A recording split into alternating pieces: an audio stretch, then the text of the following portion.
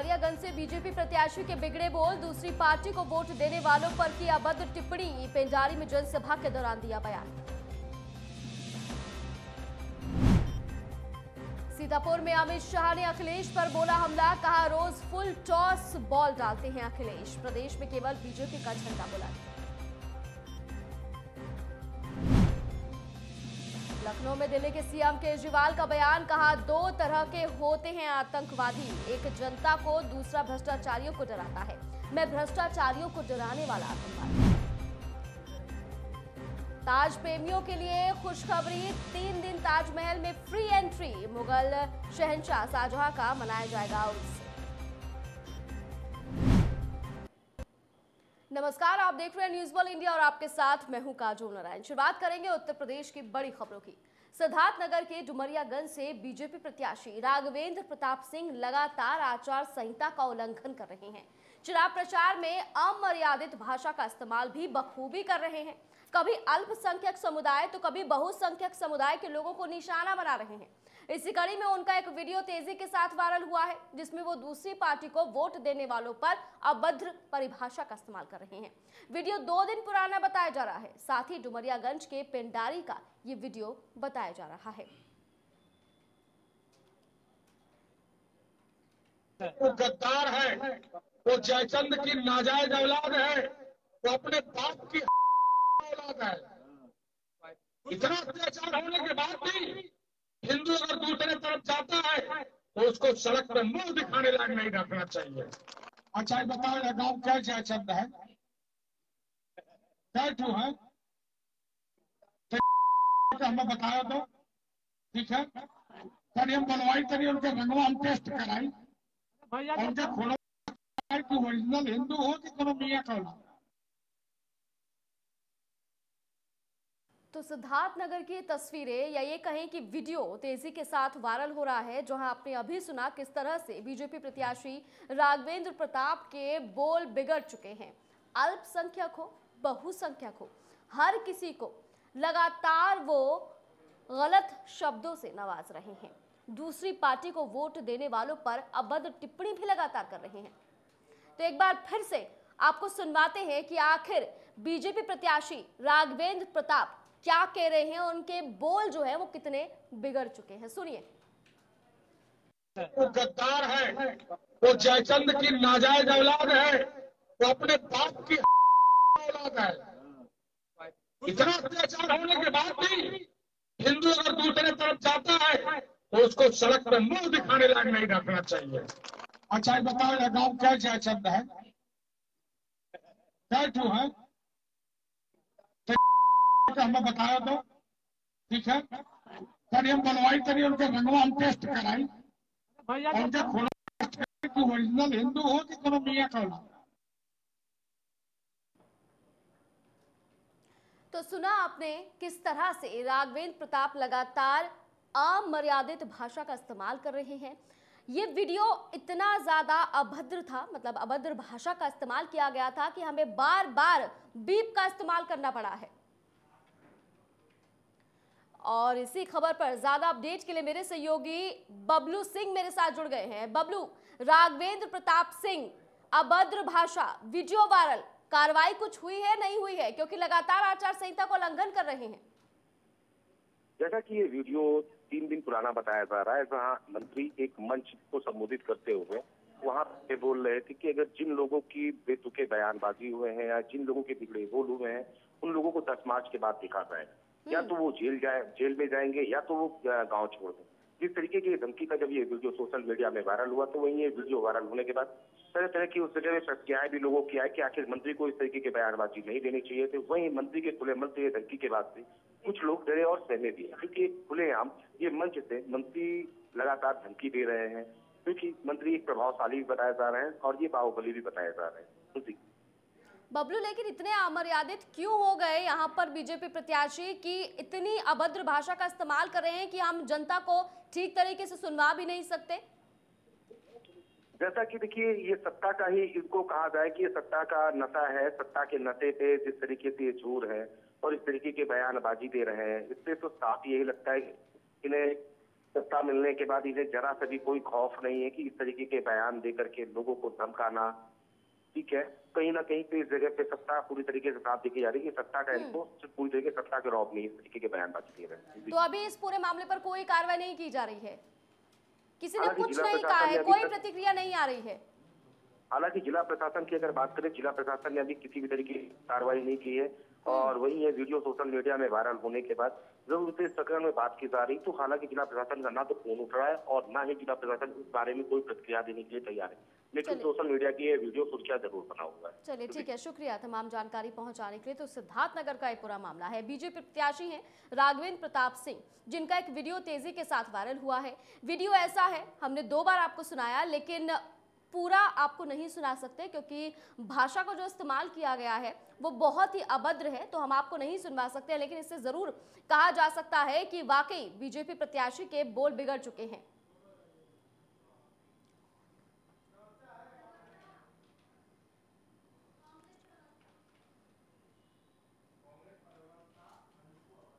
कांग्रेस प्रवक्ता अंशु अवस्थी हमारे साथ जुड़ गए हैं। अंशु जी, सबसे पहले आपका न्यूज़ वर्ल्ड इंडिया में बहुत स्वागत करती हूँ। जी नमस्कार। अंशु जी आचार संहिता लगी हुई है। उसके बावजूद हम देख रहे हैं कि भारी भरकम भीड़ निकल रही है। ऐसे में सिद्धार्थनगर से एक वीडियो सामने आता है। बीजेपी प्रत्याशी हैं राघवेंद्र प्रताप सिंह। वो कहते हैं ये कहते हैं कि मैं सुनवा भी नहीं सकती और बता भी नहीं सकती लेकिन भाषा बहुत ही गलत है। इतनी गलत है कि मैं नहीं कह सकती। भाजपा के नेताओं को सत्ता का अहंकार है और जनता इनका अहंकार 10 मार्च को चूर चूर करने जा रही है। क्योंकि जनता ने जनादेश दिया था कि नौकरियाँ मिलेंगी उत्तर प्रदेश में। हम्म। बेरोजगारी समाप्त होगी। हम्म। लेकिन नौजवानों को क्या मिला? लाठी मिली जेल मिला मुकदमा मिला। प्रदेश की बेटियों को प्रदेश की बहनों को अपमानित किया भारतीय जनता पार्टी ने। हम्म। अब वक्त आ गया है हिसाब किताब करने का। आप चिंता मत करिए आने वाली 10 मार्च की तारीख उत्तर प्रदेश में भारतीय जनता पार्टी के ताबूत में आखिरी कील साबित ठोकेगी और प्रदेश का किसान नौजवान महिलाएँ सभी भाजपा से अपना हिसाब किताब करने के लिए तैयार हो चुके हैं। यहाँ अंशु एक चीज़ एक चीज़ आपसे पूछना चाहूँगी कि चलिए अल्पसंख्यक को लेकर तो लगातार ये कहते ही रहते हैं लेकिन इन्होंने तो बहुसंख्यक को भी नहीं छोड़ा है। हर किसी को गाली गलौज कर रहे हैं वीडियो में खुलेआम। सत्ता का अहंकार सत्ता के अहंकार में सब कर रहे हैं। जनता इसका हिसाब किताब करने जा रही है। चिंता मत करिए। अच्छा तो जनता हिसाब किताब करेगी? इसका मतलब ये है कि आप कह रहे हैं कि कांग्रेस को अच्छी खासी सीटें मिलने जा रही है इस बार। 10 मार्च को हमें पता उत्तर प्रदेश में सरकार बनाने जा रही है। बहुत बढ़िया तो पहले से ही मुबारकबाद आपको। धन्यवाद धन्यवाद। चलिए ठीक है बहुत शुक्रिया आपका हमारे साथ जुड़ने के लिए। तो सिद्धार्थ नगर का ये वीडियो जिसपे प्रतिक्रियाएँ लगातार हम ले रहे हैं अभी कांग्रेस के जो प्रवक्ता हैं, वो हमारे साथ जुड़े थे। उन्होंने ज़्यादा कुछ नहीं बोला, बस इतना बोला कि सत्ता की हनक है सत्ता का नशा है इसी वजह से उनकी ज़ुबान लगातार फिसल रही है। और सबसे बड़ी बात जो उन्होंने कही है, उन्होंने यहाँ न्यूज़ वन इंडिया पर कहा है कि कांग्रेस सरकार बनाने जा रही है उत्तर प्रदेश में। ये सबसे अहम जो उनका बयान है वो माना जाएगा, क्योंकि लगातार बीजेपी ये कहती है कि कांग्रेस का तो सुपड़ा साफ़ हो जाएगा, कांग्रेस की जमानत जब्त हो जाएगी, लेकिन कांग्रेस प्रवक्ता कहते हैं कि हम तो सरकार बनाने जा रहे हैं। तो ये वो तस्वीरें हैं उत्तर प्रदेश के चुनावों की जो अलग अलग इलाकों से सामने आ रही है, आज सिद्धार्थनगर से सामने आई है, जहाँ पर प्रत्याशी, जो आम जनता है, उनके साथ गाली गलौज कर रहे हैं। और कहते हैं कि जो दूसरे को वोट देगा, उनको हम कुछ नहीं समझते, चाहे वो अल्पसंख्यक हो, चाहे वो बहुसंख्यक हो। तो आप समझिए और जानिए कि किस तरह से आम जनता से बातचीत कर रहे हैं। ये तस्वीरें और ये वीडियो तेज़ी के साथ सोशल मीडिया पर अब वायरल हो रहा है।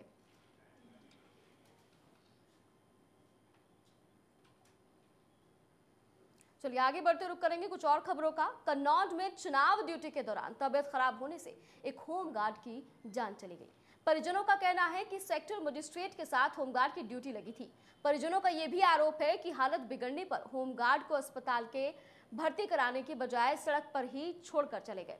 सूचना पर पहुँची पुलिस ने शव पोस्टमार्टम के लिए भेजकर आगे की कार्रवाई शुरू कर दी है। सेक्टर मजिस्ट्रेट के अमानवीय रवैये पर मृतक के परिजनों में का, काफ़ी आक्रोश देखने के लिए मिल रहा है। तो चुनाव के दौरान ड्यूटी लगी थी तभी होमगार्ड की मौत हो गई जिसको लेकर परिजन काफ़ी आक्रोशित नज़र आ रहे हैं। सेक्टर मजिस्ट्रेट पर गंभीर आरोप लगाए हैं। उनका कहना है कि अ, उसे सड़क पर ही छोड़कर जो वहाँ के लोग थे वो मौके से चले गए। किसी ने भी अस्पताल पहुंचाना ज़रूरी नहीं समझा है। यूपी पुलिस में होमगार्ड के पद पे तैनात थे। इनकी ड्यूटी लगी हुई थी सेक्टर प्रभारी के साथ में। सेक्टर प्रभारी की सुरक्षा में लगी हुई थी। ये खानपुर पैंतीस में तो कल शाम को इनका लगभग ड्यूटी के दौरान थोड़ी तबीयत ख़राब हुई। तो उनको क्या तिरवा में एक प्राइवेट हॉस्पिटल में दिखाया। उसने रेफ़र कर दिया तो उसको यहाँ जिला अस्पताल लेके आए। तो यहाँ आते आते उनको शायद हृदय रुक जाने के कारण उनका देहांत हो गया। सूचना ये मिल रही थी कि सेक्टर मैनेजर जो साथ थे उनको साथ छोड़ दिया था। हाँ उनको छोड़ दिया उनकी तबीयत खराब हो जाने की वजह से उन वहीं एटा में ई रिक्शा चालक का खेत में श्रम मिलने से हड़कम मच गया। परिजनों ने हत्या की आशंका जताई। बताया जा रहा है कि 16 तारीख को परिजनों ने कोतवाली नगर में गुमशुदगी की रिपोर्ट दर्ज कराई थी। इसके बावजूद कोई कार्रवाई नहीं की गई। मृतक युवक का नाम बॉबी बताया जा रहा है, जो वनगांव का रहने वाला था। वही शव को कब्जे में लेकर पुलिस आगे की कार्रवाई में जुट गई है। ये मेरा भाई है चाचा का लड़का। क्या नाम है इसका? बॉबी। बॉबी और पुष- पुष्पेंद्र। कब से गायब है ये? सोलह तारीख से गायब है। तो कोई आपको आपको शक हो रहा है आपने? तो मतलब किसी थाने में कुछ वगैरह गुमशुदगी हाँ, दर्ज कराई है? गुमशुदगी दर्ज कराई सिटी कोतवाली में। अच्छा अच्छा। कब कब कराई थी? ये सोलह तारीख को शाम को कराई है सात बजे। तो ये पुष्टि क्लियर है कि आपका भाई है ये? पिताजी का नाम क्या है? रामदास। और इसी खबर पर ज़्यादा अपडेट के लिए मेरे सहयोगी आसिफ मेरे साथ जुड़ गए हैं। आसिफ ये पूरा मामला किस तरह से है? क्योंकि जो जानकारी मिल रही है उसके हिसाब से गुमशुदगी की रिपोर्ट दर्ज कराई थी लेकिन कोई कार्रवाई नहीं की गई। 16 तारीख से युवक लापता था।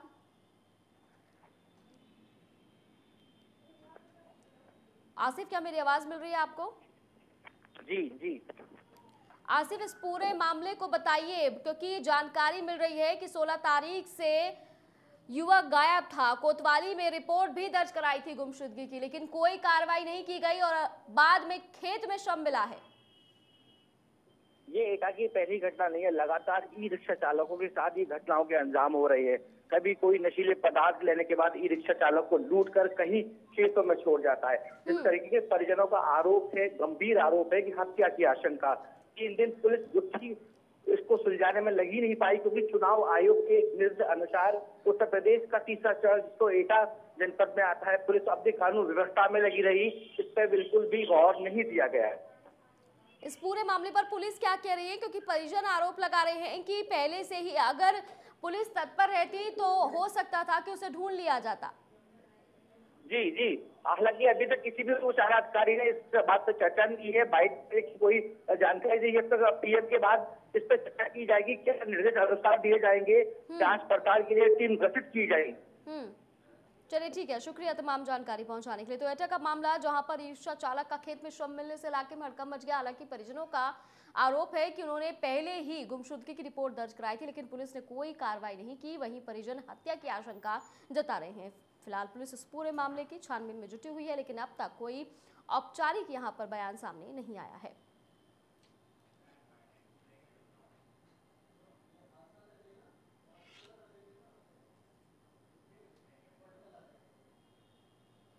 एसपी के निर्देशन में अपराध और अपराधियों पर शिकंजा कसने के लिए पुलिस लगातार चेकिंग अभियान चला रही है।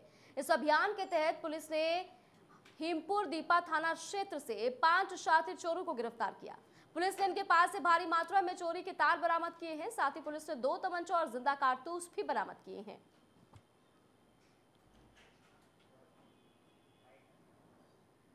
हेमपुर दीपा के थाना प्रभारी एवं उनकी टीम ने चोरों के पाँच सदस्यों के गैंग को गिरफ़्तार किया है।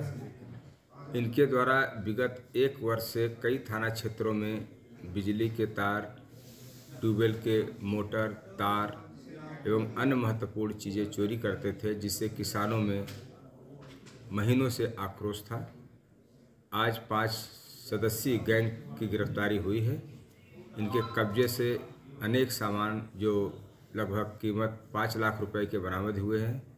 इनके गैंग का पंजीकरण होगा, हिस्ट्री सीट खोली जाएगी, एवं गैंग एक्ट के तहत भी अभियोग पंजीकृत कराया जाएगा।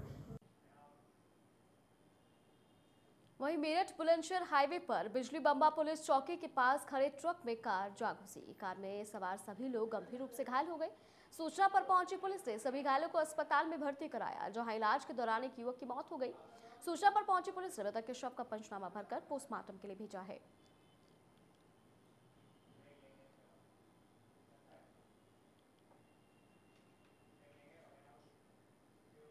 और यहाँ रुक रहे छोटे से ब्रेक के लिए ब्रेक के बाद होंगी कुछ और खबरें। मेरे भारत में लोगों को बरगलाना इतना आम क्यों हो गया है? मेरे भारत फेक न्यूज़ फैलाना इतना आम क्यों हो गया है? तो ऐसे में जब सच और झूठ के बीच फ़र्क करना हो जाए मुश्किल, तब भारत एट नाइन में हम बात करेंगे उस परत दर परत की, जहाँ से सच बेनकाब होगा। आज के दौर में सच बोलना मुश्किल हो सकता है, लेकिन ईमानदार लफ्ज अपने रास्ते ढूंढ लेते हैं।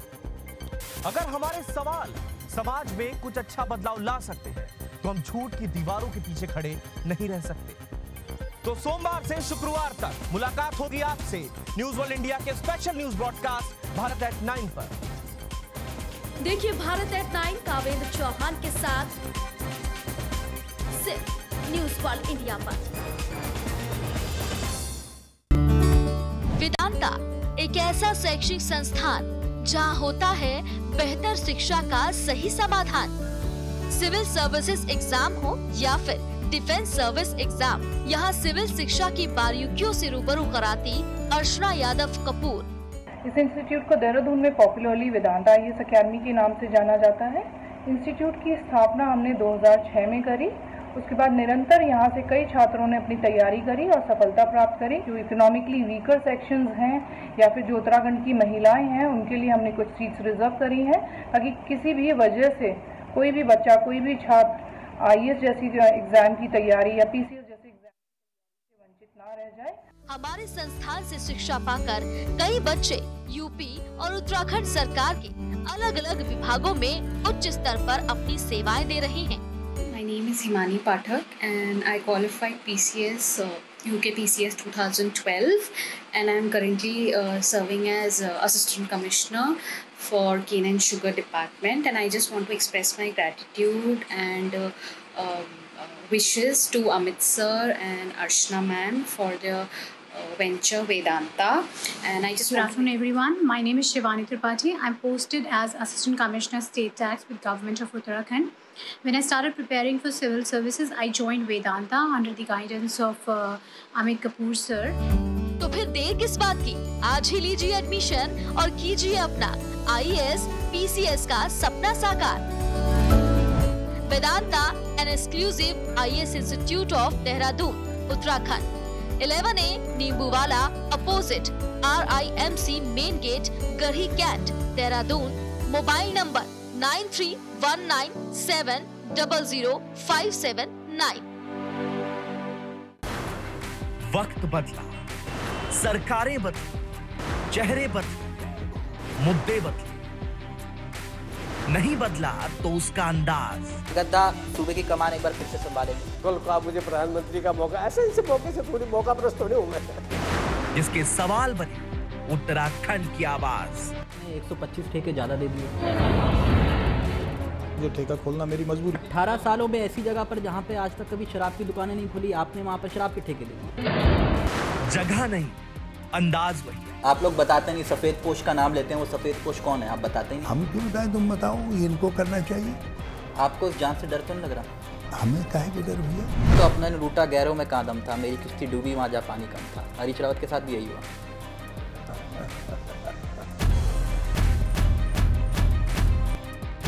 देखिए पूछता है उत्तराखंड तिलक चावला के साथ। सोमवार से शनिवार शाम पाँच बजे। और ब्रेक के बाद एक बार फिर आप सभी का बहुत स्वागत है। रुक करेंगे खबरों का। यूपी में चौथे चरणों के लिए धुआंधार प्रचार जारी है। इसी सिलसिले में गृह मंत्री अमित शाह सीतापुर पहुँचे, जहाँ पर उन्होंने दावा किया कि केवल और केवल बीजेपी और कमल निशान का झंडा बुलंद है।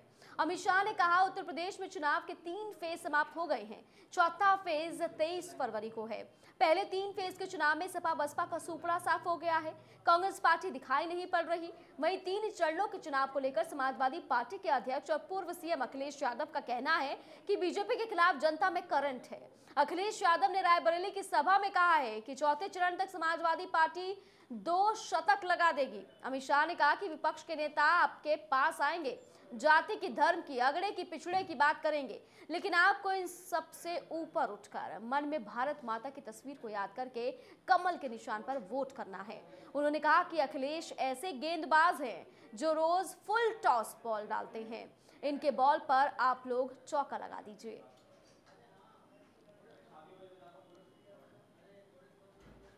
उत्तर प्रदेश के किसानों को खुशहाल करने का चुनाव है।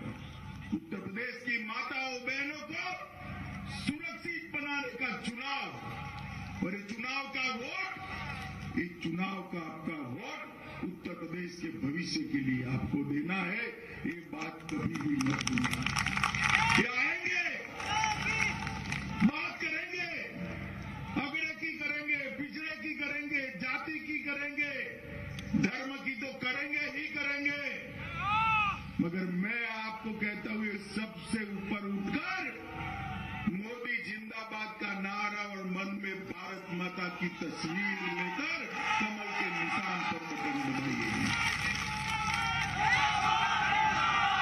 हमने उत्तर प्रदेश की पहचान को बदलने के लिए चुनाव में हम आपसे वोट मांगने आए सपा बसपा के शासन में उत्तर प्रदेश आतंकवाद का हॉटस्पॉट माना जाता था गंगा का सेंटर माना जाता था मैंने एक चश्मा देखा पहना है पहना है ना एनक पहना है या नहीं पहना है मुझे इससे आप एकदम साफ़ तरीके से आर पार दिखाई देते हो अखिलेश बाबू भी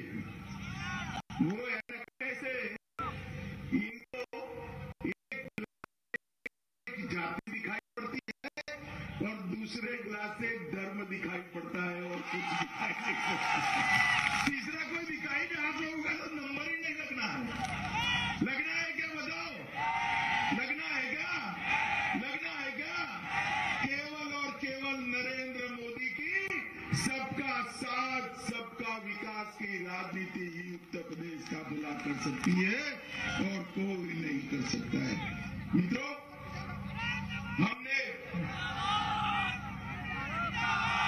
सीतापुर वालों के सामने दो रास्ते हैं एक रास्ते पर घोटाले के गड्ढे हैं उसी रास्ते पर परिवारवाद का स्पीड ब्रेकर है वहीं पीलीभीत में जनसभा के दौरान अमित शाह ने कहा है कि योगी आदित्यनाथ ने सारे माफियाओं को उत्तर प्रदेश से साफ़ कर दिया। अखिलेश बाबू पूछ रहे थे, कहाँ फ़र्क पड़ा है? अरे, अखिलेश बाबू, अगर फ़र्क देखना है तो काला चश्मा उतार दो। अपनी ऐनक बदल दो, हमारी सरकार में अपराध रिकॉर्ड स्तर पर कम हुआ है। यूपी में कानून का राज लाने का काम किया है, आप एक बार फिर बीजेपी सरकार बना दो। होली दिवाली पर मुफ़्त गैस सिलेंडर देंगे, किसान भाइयों अपने खेतों की सिंचाई पर बिजली बिल नहीं लेंगे। बेटियों को स्कूटी देंगे छात्र छात्राओं को लैपटॉप, टैबलेट देंगे।